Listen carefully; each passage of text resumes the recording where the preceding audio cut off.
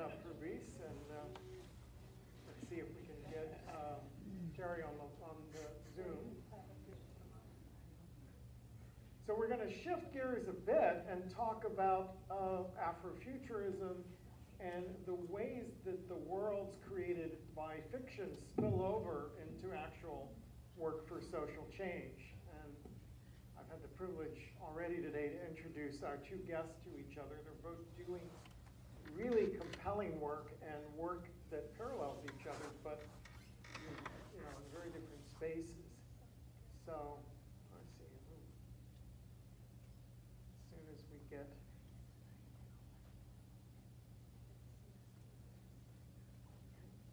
Is Terry there?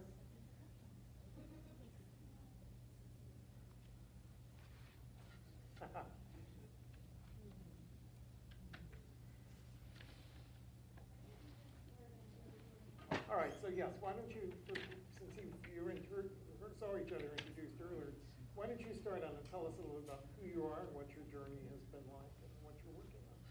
Absolutely, it's such a delight and pleasure to be here. Um, I grew up in Port-au-Prince, Haiti, so a lot of my background and my worldview really stemmed from there. And I moved to the U.S. when I was 13 with my family in Florida. Beginning of my life really was about asking these bigger questions about why is the world the way it is? Why is Haiti the current state politically, economically? So I went into international relations. Um, and with that in mind, in terms of social change and social justice, um, I studied international relations at Florida State University, go Seminoles. Um, and I went to pursue my master's in peace building and conflict transformation. And it was there really that I got involved with an organization called Coming to the Table. And this organization was founded by descendants of the enslaved and enslavers. So black and white uh, individuals that were connected and linked through the same slave plantation. And they came together to really address like intergenerational trauma US. Um, and that experience led me to start a chapter at university that I eventually became the youngest national president of that organization and really opened my mind in terms of the possibilities of using storytelling and narrative work to engage profound change in society. Um, but the journey didn't stop there. It, it, it's only continued because I went to DC and I was working in the government at the time and 2016 in December and it was before the sort of the political turmoils that had taken uh, storm. And I think it was really during that time that I started to really align my gifts, my vision, and my passion as a writer, as a science fiction and fantasy writer, to, to really understand how could we see writing as something that is more than the classical view of like sitting in the corner writing by yourself. And why isn't that for writers today, especially prose writers everywhere, that writing isn't something collaborative, that it is something dialogic. So it was a start of Syllble. So I run a production house called Syllble, and we bring science fiction and fantasy writers and visual artists from around the world to create imaginary fictional worlds. And they use those worlds in form of collectives to really, really push the edge in terms of their own imagination because I really like the work of Henry because he talks about the idea of the imagination and transmedia and world building because I, I really feel that world building as a tool is such a profound way of engaging our planet as a species because when you start to build worlds over and over, I've built thousands of worlds, and when you start to build worlds, you start to look at our current model of our planet and you start to have the agency and say, this can change, this can be transformed. So a lot of the mission of Syllble Studios is really focusing on black and brown, underrepresented LGBT, women, non-binary forces to come together and create new worlds and hopefully those worlds can be the the next big franchises that can impact the world and and because for me as like for example this is a world that we brought together we partner with the State Department to form the One Humanity Writing Collective. So we brought writers, women and non-binary writers from Australia, New Zealand, uh, Puerto Rico, Hawaii, and Alaska, and they came together and they created a world called One Humanity that's set in the deep futures. And for over a year, they met with different experts from academic backgrounds, working in the field, who presented to them their research around like the UN Global Agenda. And they wrote in that world to sort of apply speculative fiction and integrate to can we imagine new systems for our planet. Um, we've also worked with, most recently we brought 10 science fiction and fantasy African writers. I highly recommend that you check them out. It's the Sauti Collective. And they're making a storm right now because this world is a two-star system, five planets, and it's based on a magical system around sound. And it engages a lot of African spirituality, philosophy, and thinking. Um, and uh, really the vision here is how can we provide a space for creators, writers, and challenge this classical view that you don't have to work by yourself. And they can use that world to push their portfolio and push their imaginations to see something new for our planet. All right, so Terry, you're joining us, thank you. Uh, so tell us about what you're up to. Hey, um, thank you, Henry. Thank you, Fabrice. Thank you, everybody, uh, for allowing me to speak to y'all. Um, my name is Terry Marshall. I'm the founder and executive creative director of Intelligent Mischief. Uh, we are a creative studio that works to unleash black imagination to shape the future, change the world. Um, things that we do, uh, we put in the categories of art, content, and production. And, uh, you know, first and foremost, we're world builders. Um, and we base everything we do using world building as a methodology for um, experience design and also like for social impact.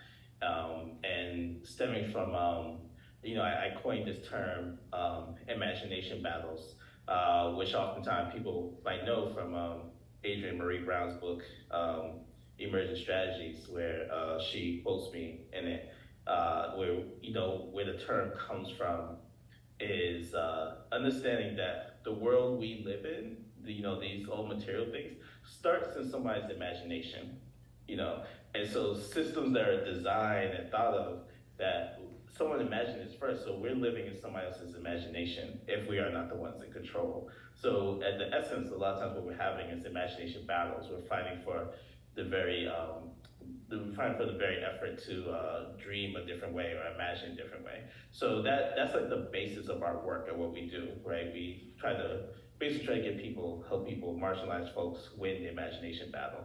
Um, some examples of of things like that is uh, we did a project called, um, a multimedia project called Black Lives Survival Guide.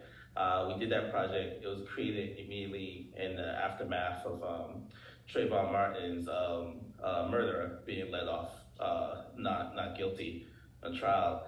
And um, what we came up with was uh, the, the climate, uh, which I think is, has been shifted somewhat since then. I'm not saying problems haven't been solved, but it's a different climate from people remember the early days of Trayvon being murdered. Um, that a lot of times in the media, it was still it was always the onus of a of, of a black unarmed black person being murdered by a vigilante and police. don't seem to be on the victim, and we we was like, how can we do something that could change the narrative around this, right? Because that was that was becoming a narrative battle. Um, and very much this narrative was deadly. And if you listen to the arguments made in the trial, uh, Trayvon is killed because of a narrative that's said about people in a black body, right? They mostly focus on Trayvon's body. No crime that he did, but like he just was suspicious, too suspicious looking. Um, and we said this is ridiculous. Um, we came with a term that was um, when things get, when reality becomes absurd, it's time to become surreal and we made a multimedia project where we said they had to be a black body survival guide because obviously all these black people being killed uh, for no reason, somebody, the rules must have changed and nobody told them, so we need to actually help them learn the new rules. And we had, we crowdsourced these ridiculous tips of how to survive a black body in the racist world. And um, but when we started to do that book, we found ourselves we could not be satirical enough because all we were all black writing staff, and we found that we could not we could not separate ourselves from the, the issue itself. My, I myself was almost shot by a police officer when I was uh, 15. Um, so these are experiences very real to us, and we stopped for a moment. A lot of us were like comic geeks, um, nerds uh, since childhood, and we said, well, let, there's a tool called world building, right? Let's use this tool, right? And, and we took world building and we took like, okay, the people who are writing this book, they have to be from a world where they're, black people are free. They're so free, they're not dealing with these problems. And we started to build this whole world where the, the, the writers were these agents from uh, this nation called Nation X, which was a maroon society that's survived for the last 500 years, um, that has been undetected and sending out agents throughout the world, the African diaspora, to free black folk. And one of the things they did was to write this book satirical tactic against the, the empire. Um, and you know, we always tell people is think of Wakanda of the West. And um, and it was once we started doing that, we were able to write the book.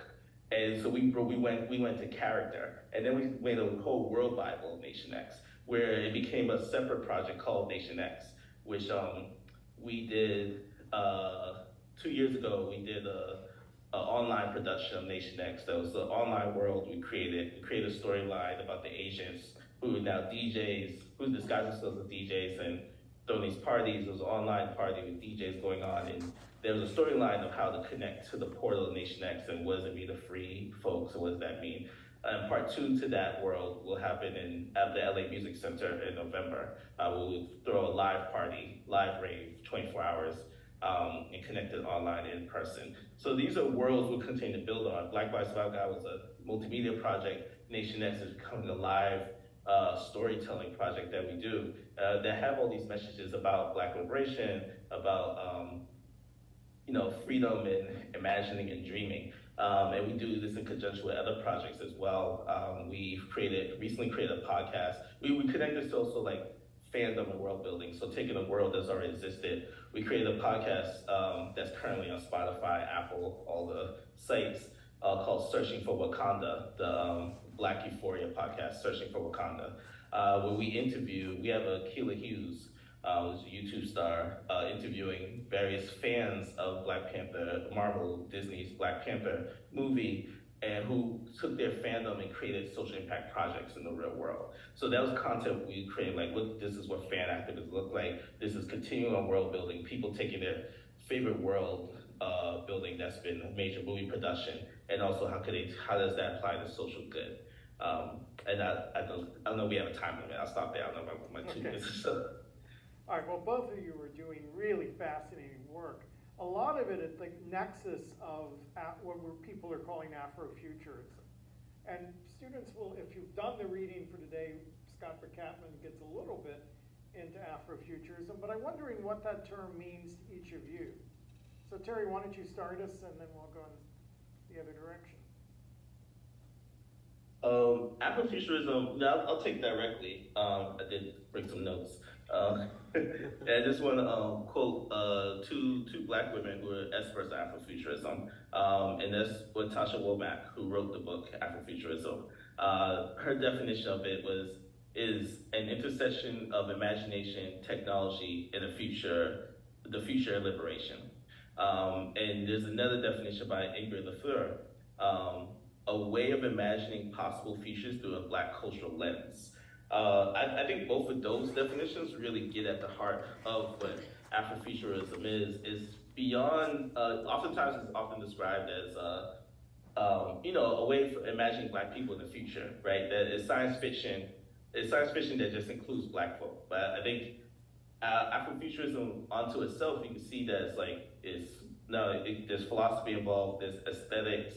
There's aesthetics philosophy um, it's a cultural movement that could span the spectrum. It could influence political thinking as well, but it, it's something that incorporates not just thinking about the future, including black folks, but also incorporates the history and um, and cultural uh, cultural um, beginnings of like a black African diaspora that's mixed in with the future, which goes into like different African uh, philosophies as well, and that's that's uh, the way of um, you know kind of on it with Afrofuturism in a nutshell. All right, and how would you define?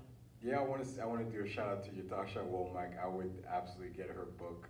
I was she's a good friend, and I, I appreciate the definition because in everything you're saying, because I really like what you said in terms of like, it's so funny that you mentioned the idea of the imagination battle because I, I didn't know that you were the person that coined that from uh, Adrienne Maree Brown's emergent strategy. So this is absolutely amazing.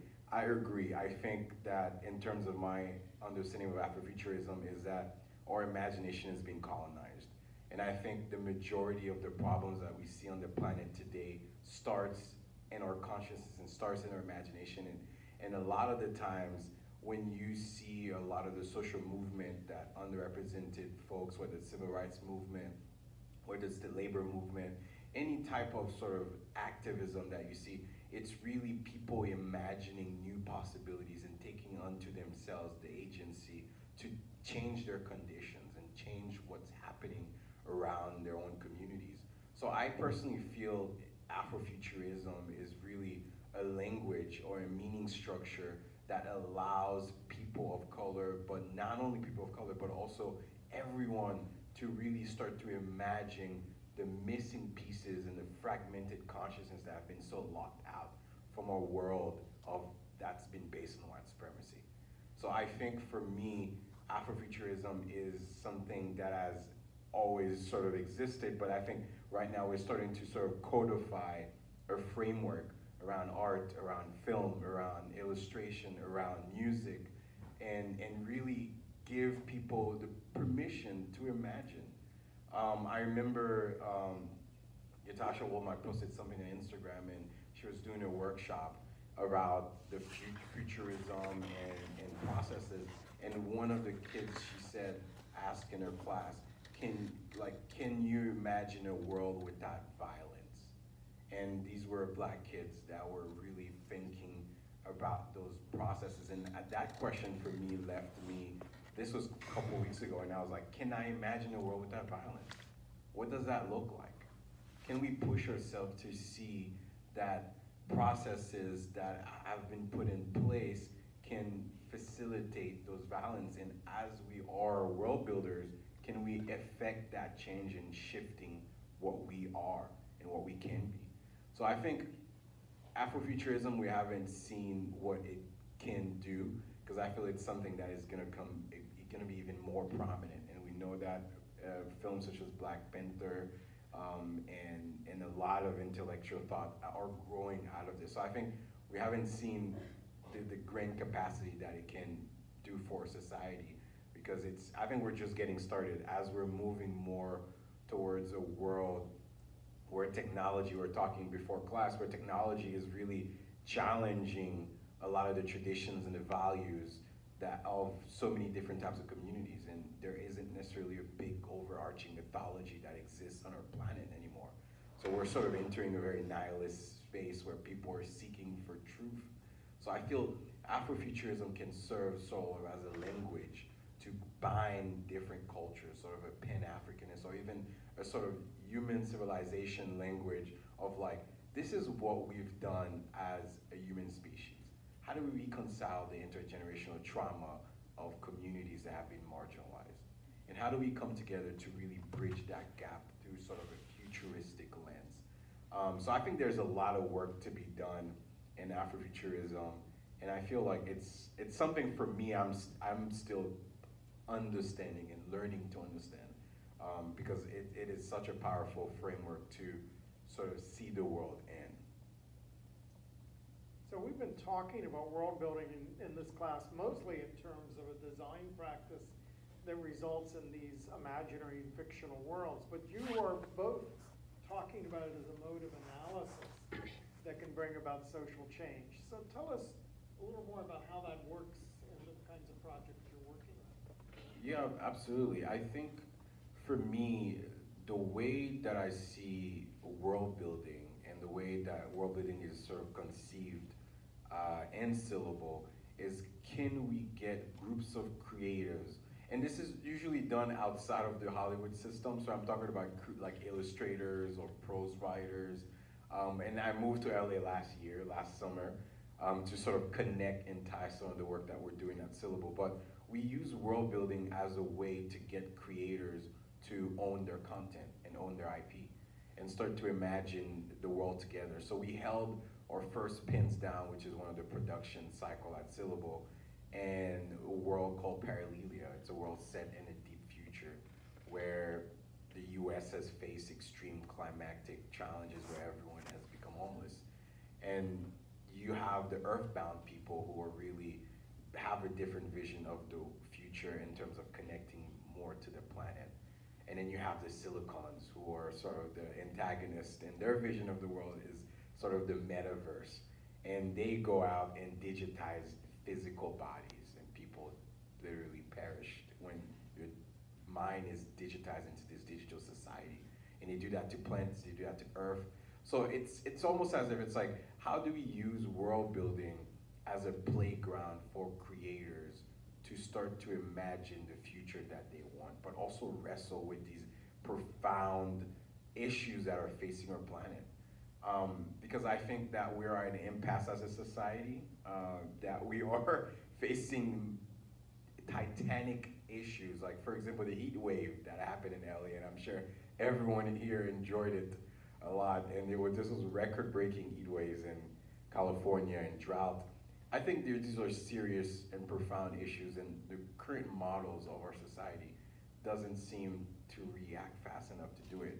So I, I personally use Syllble not as a way, not only as a way to kind of give agency to creators to imagine and put out their work and get those work adapted to different forms, but also to imagine a better society and to sort of wrestle with some of the, the challenges that our planet is facing. And Terry, how do you think about world building and social change? Um, uh, very similarly, uh, Fabrice and that we do. I can't believe we're just meeting today.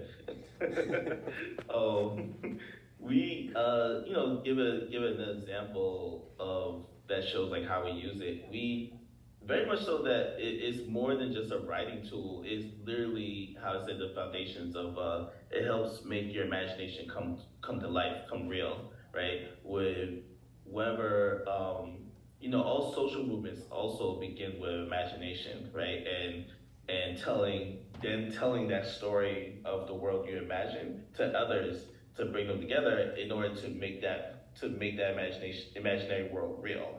And that's what you're doing when you protest or when you vote or you lobby, right? You're you're doing this based off a story that you're telling yourself and telling others that we the world as is now can be different. And world building is like a, a very efficient tool that we craft that world and then use it to become real. Um, case in point, we just did a project, we just created an experience in Memphis, Tennessee about a month ago now uh, called um, Archipelago, the Sonic Experience.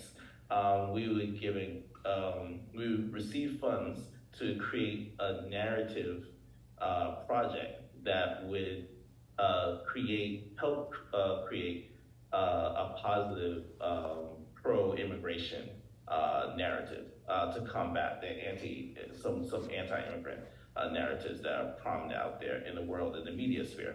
Um, what we wanted to do was create a series of experiences for folks who could just take this story, take this narrative, and embody it in their bodies. Right? It's what we call like having. How can we develop enough transformative experiences uh, for people to then act and change their behavior or, or act on um, wanting to um, bring about the change they seek.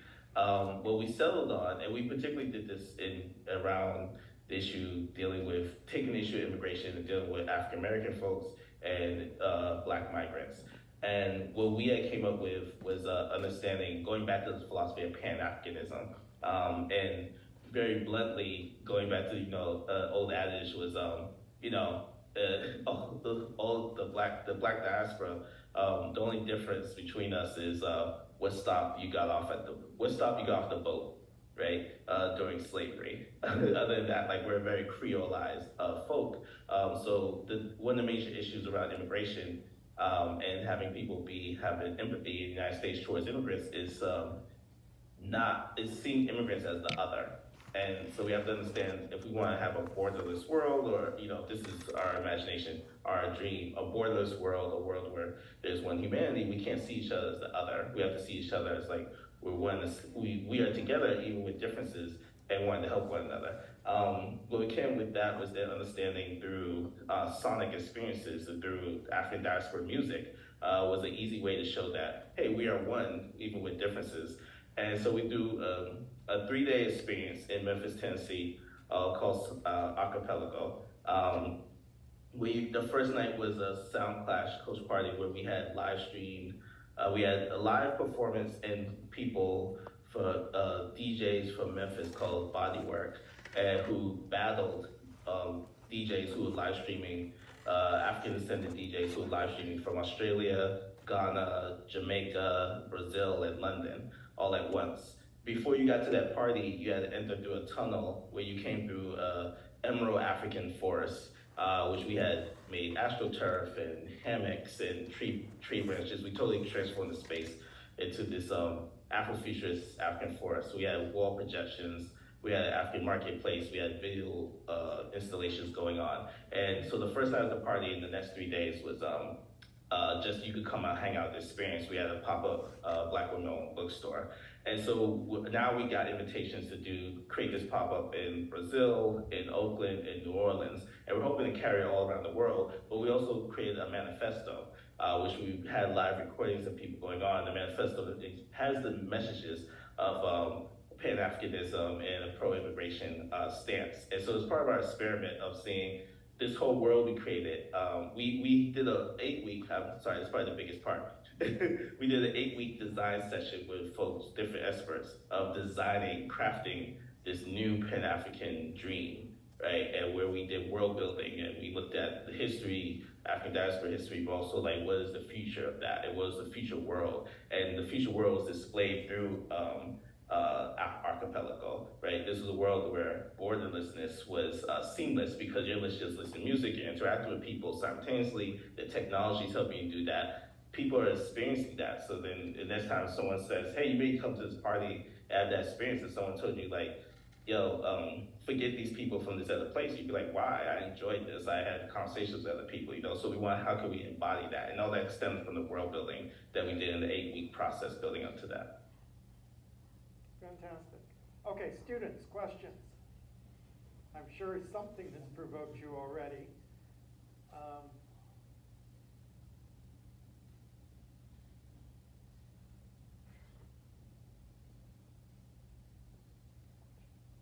yeah, Deborah.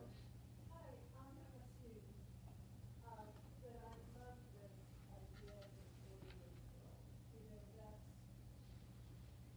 of the borderless world, is, um, is a, a dream or a thought that I've had for a very, very long time. And being uh, citizens of this planet and being earthlings first and foremost.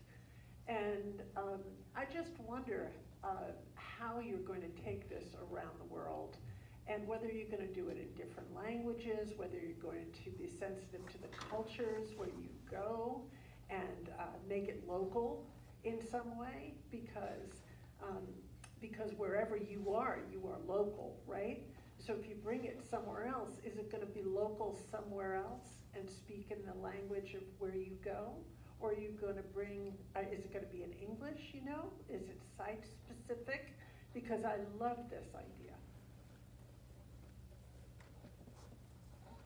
Is the, the question is to me? Yeah, I think so, me? Terry. Uh, Okay, yeah, I just missed the first part.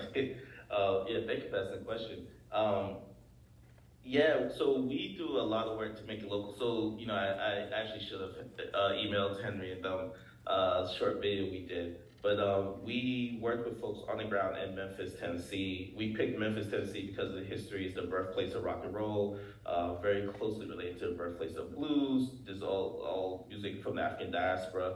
Um, Memphis, in, in, Memphis in and of itself, but people haven't been there, uh, you know, is named after a city in Egypt, and they um, they have a, there's a lot of local things that even connect them to Egypt and Africa, people have a lot of like a deep um, questions about that there, as well as we learned hanging out in the city. Um, you know, we, we worked with local DJs, we worked with producers on the ground. Uh, even the we created merch that came out of the project where we used um, uh, the Mem- what people call the Memphis Blue. If you see any sports teams or college teams or any of the cultural things come out of Memphis, it's a particular blue color that comes out. We made this women Memphis Blue. So there's a lot of stuff we take to the care to um, as we do the project to incorporate uh, very specific uh, site specific um, cultural uh, cultural uh, norms about that. Uh, we're hoping to do that wherever wherever we take the project, and but also um, that that that being a key part of the project is also a key part, particularly this project. I don't want to get lost that the project is um, an African diasporic uh, project, and with the understanding of uh, there's a common thread throughout the African diaspora culturally and lineage, wise that um, as we take care to the local, we are also taking care to like how that connects to different languages and um, cultures, understanding that still are still contained within one. Now you could apply that to a larger uh, Earth society as well, right? That, that's that's like we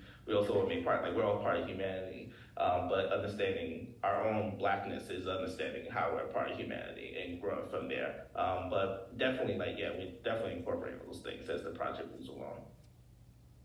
So I should point out that in some of the work we've been doing, uh, my project on civic imagination, we go and do world building workshops with all different kinds of people all over the world about designing the futures together. And the idea of a borderless world keeps cropping up. One of the things that crops up very often is the teleportation system in Star Trek. So this is why I'm sharing the story in this context, right? So for the Americans, when we've done it, a lot of groups have come up with the idea of teleportation as a way of combating, reducing carbon footprint, right? Who knows whether it causes more or less environmental disruption, but people want to use it to imagine modes of transportation that are less disruptive. Uh, when we did it in Europe, it was about efficiencies. That is, couldn't we substitute a system of getting between European capitals in the EU that doesn't require changing trains three times in Brussels or something, right? Uh, when we did it in, in uh, Beirut with Arab leaders from 10 countries, they talked about safety. So how do you get Syrians to Germany without drowning along the way? Uh, when we did it with immigration rights groups, they point out that by definition, Kirk, Spock, and McCoy exist in a world that is without borders because no one comes down, there are no walls that block them from teleporting. No one comes up to them when they teleport down and says, where's your green card, right? They, they exist in a world where there cannot be a policing of borders by its very nature. And recently we did one in West Virginia where people had, one of the traumas they talked about was a sense of being flyover territory and their children move away and didn't choose to come back for the holidays because it was so difficult to get there. So the idea of teleporting your children in for Christmas or Hanukkah in the mountain regions of Appalachia had enormous power when these people talked about it. So it gives a metaphor for thinking about all of the deeper concerns that people are struggling with, not just around transportation, but around their entire way of life. So that using science fiction as a metaphorical tool to think through these issues is a really powerful thing to do. And Star, I, I'm so thankful that Trek has given people this resource for thinking about Um, the world in these different ways. Henry, I, uh, you made me think of um, the stars of my destination Mm. and jaunting. I don't know if your students have come across the stars of my destination. Heinlein, right? Uh, yes, and uh, uh, actually, it's Alfred Bester Oh, yes, you're right, you're right. Was- and, and jaunting, where I had you- not, I had not even thought about that book in a long time. I know, so I don't want to take the conversation to another place, but You want to jump in on Yeah, some of this? yeah, I had a few thoughts as well. I think a borderless world is such a powerful, like, process, and and I feel like as a planet we're moving towards a world society, and I do know some of the projects of globalization has the- the initial like sort of endeavor around globalization. I think we've seen a lot of failures in that sense. So I think the challenge of tomorrow is going to be how do we universalize a vision for humanity without sort of erasing the particularity and authenticity of tho- those individuals. And I, and I particularly have seen at Syllble or even within me sort of a profound shift or sort of a unification of values of our site when you sort of create worlds. I think that identity as a world builder or even what Henry is hinting at and also Terry is that it's like I think when you you're in the act of creating meaning, you start to see beyond the previous imagination or the previous template of what you're sort of surrounded at. So I do feel like if there's a way to allow people to be immersed in more, and that's why I feel like Hollywood has so much has so much power in terms of like value transmission around the world. It's like when I was growing up in Haiti, like a lot of the films that I saw defined for me sort of the vision of the planet. So I feel like there is a responsibility for diversity. There's a responsibility for building worlds that allow people to be immersed and sort of gain a new vision that can ho- hopefully lead to this sort of borderless world that we would hope um, would lead us to less violence. But I, I totally agree. I think I do feel like the idea of a world builder itself pro- provides a really an inner sort of revolution of values and it allows you to see beyond sort of the, the sort of uh, the way the world has been designed. I mean, and it's very, it gives us a lot of agency. So at least I've, I've seen that more. Okay, so there's a hand over there, back, back, yes, in the back corner, thank you. We'll get a mic to you in just a sec.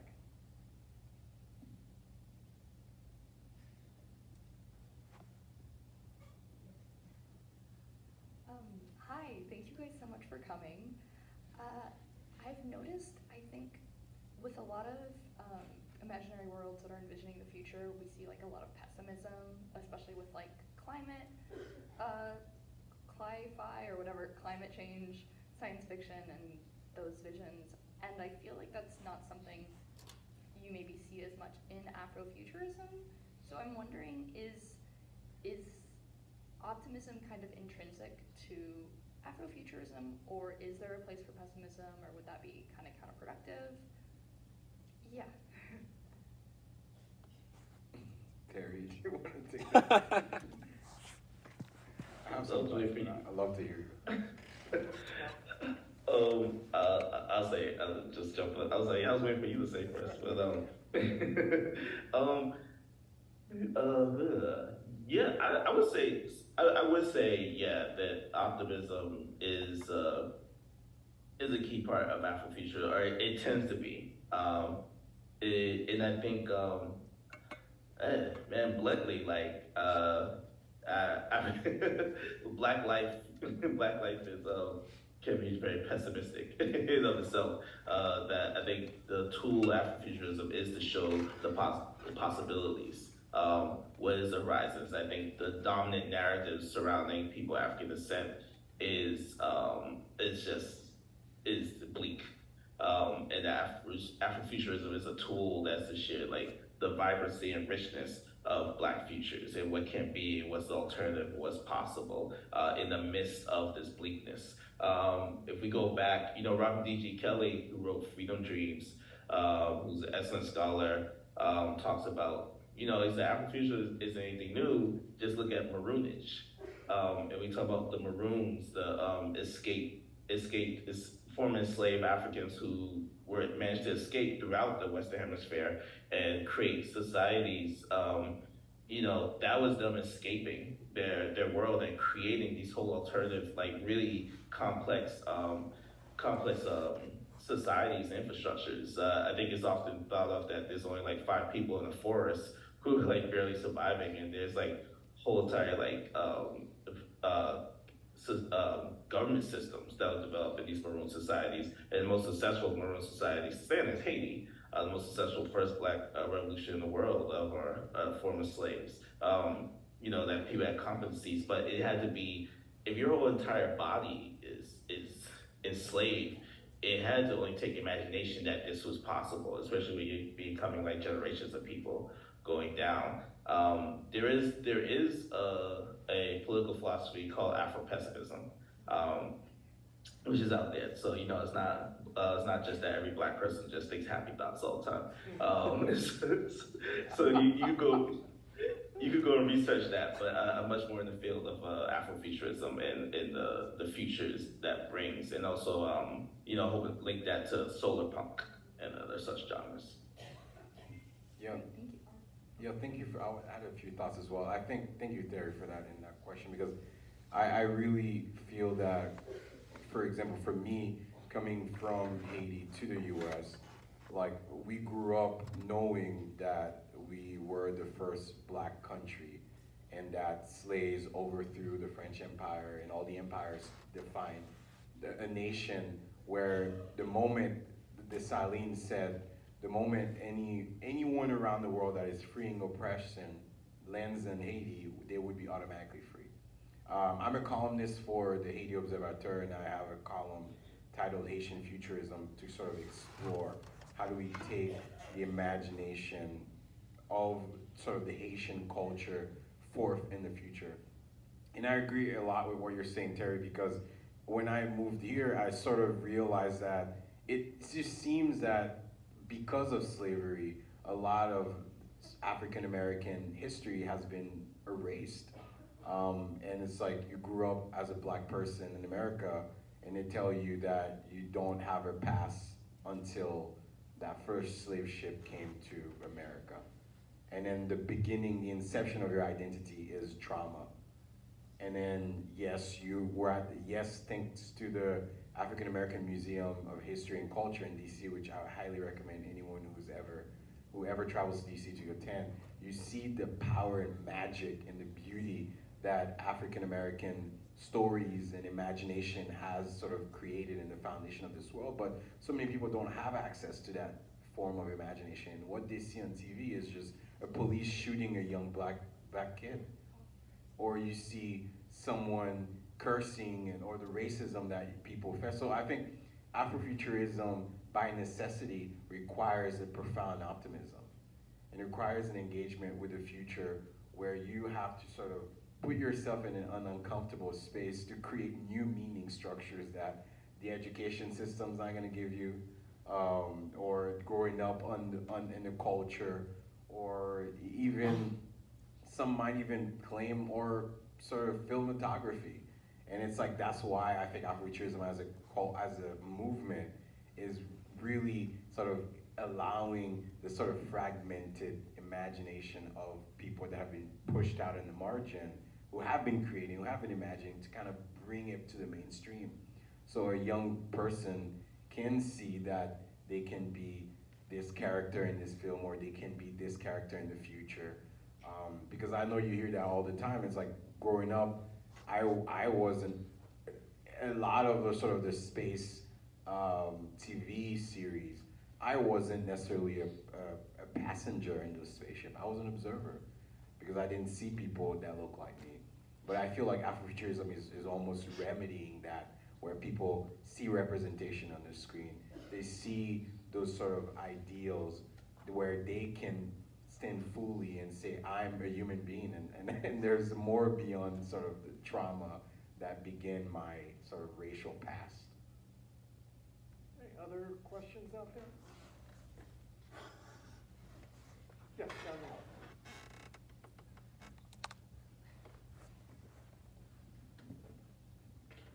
Hi, um, you mentioned like, uh, specifically like fandom efforts and like that translating to activism, so I'm just curious like what those exactly are and like how, um, how like fandom and world building translates into real world activism in your experience. You wanna? Um, Yeah. Go No, ahead, no, Terry. no, go ahead. Go No, go ahead, Terry. I was gonna, I was trying to see which you was gonna jump in first. um, I'll say real quick, uh, just um, shouting out some of the, the guests that we had on the uh, Search for Wakanda podcast. Um, so uh, Jaya Jaya Thomas, uh, who created um, a project called oh man, it's forgetting me. uh, I think like Diversity Initiative. Um, getting that wrong, Diversity something. Diversity Initiative. Jaya Thomas. Uh, she was a guest on the podcast, and she saw the first Black Panther movie, and she actually was so energized by this all black cast and um, you know, this movie generating so much money and so forth. That, but she wanted to find out who was representing all these people. And when she found, she looked deeper, had noticed that, um, you know, a lot of people's agents or a lot of people behind the work were, were white. And that this is still like, a, you know, diversity still being an issue in the industry. And she, she created a project to um, actually create more diversity behind the scenes of the camera, but it was inspired by seeing Black Panther the movie. Um, there's uh, some other folks who've created the, the Hidden Genius Project, which is about uh, teaching coding to young black children. Um, Shuri, uh, Shuri is the smartest person in the MCU, um, in the Marvel Universe. Uh, her being made a prominent character and people seeing like a young black woman who's like a scientist and do all these things. Many people started creating all these like different projects around that was um, including that uh, bringing step science and um, science and arts to more more um, underprivileged black children in the city. Um, there's yeah, there was a there's, there's a number of people. We're just about I, you know I'm just gonna plug the podcast. It's like six episodes. you know people who've um, done all this, but even beyond that, um, and Harry uh, Henry could probably tell you more about this. There's um, beyond Black Panther. There's probably the most one of the famous examples of fan activism is the Harry Potter Alliance, which I think they've changed their name to Fan Forward. Uh, yeah, In Fan fact, I'm gonna speak about that in the next lecture segment, once we're done with this, so more fan activism to come, and, uh, Yeah, I, I totally, I think, I think that's the sort of future of, of engaging our society because I think what content or storytelling or worlds do in creating fandoms, it's like you're pushing culture. You're sort of creating a, a, a set of values, a set of behavior, a set of thinking, and you're immersing different people from different cross of life together in this shared mythology. And I think I didn't necessarily have the language for that until Henry presented to the One Humanity Writing Collective, I believe last year, or was it this year? It was- I've lost track. it was, uh, but was a great, great event. yeah, he, he extremely compelling in terms of fandom and how fandom sort of move people into action. And and I, I think it solidified for me my convictions that films and storytelling are so incredibly powerful. Like you go to Comic Con, you go to these events. It's like you like the fact that I've watched, let's say, Star Wars and another person has watched Star Wars, that brings us closer together as people. And because it brings us closer together as people, we're able to sort of have a language for communicating and affecting change. I think there's other example that Henry will probably go over in terms of like more direct action and community change. But I feel like there's the, the idea of shared mythologies that are fandoms is I, I think has has made the world a better place. Um, because you get to meet people who are might be from a radically different culture, but because you consume the same music or the same film and you're a fan of the same thing, you are closer to them. And by that fact, I think in terms of community and agency and change, it makes a democracy thrive. Well, thank you so much, both of you, for joining us. Uh, We're gonna ten-minute break, so you can do your bio break. When we come back, I'm going to do, talk about fan activism, civic imagination, and and a little bit of superheroes. So, uh, and then we will see what, what we can from uh, Dune tonight. So, thanks, thanks all, take your break.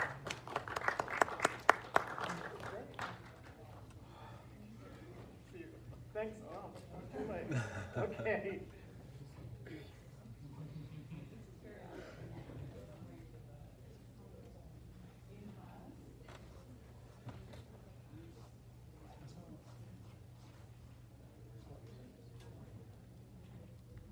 There we go.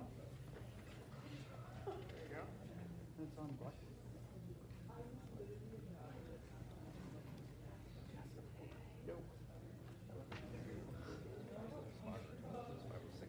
always like, you're Me always too. like on it. Like your I love NASA it. jacket, that's Like cool. you totally respond. I was, you know, I was like the Monday, like, fuck this. I, I just totally do this. Of course, with one of my people audio. I remember they're all good. Yes. I didn't get to see yours, but I would love to see yours. Or it's in the reading one? No, that was the